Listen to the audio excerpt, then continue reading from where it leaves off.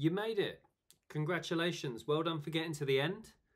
This course has been really fun to make uh, and I hope you've enjoyed it. It would be great to get any feedback you have to improve any future content I make, so please, please leave some comments below.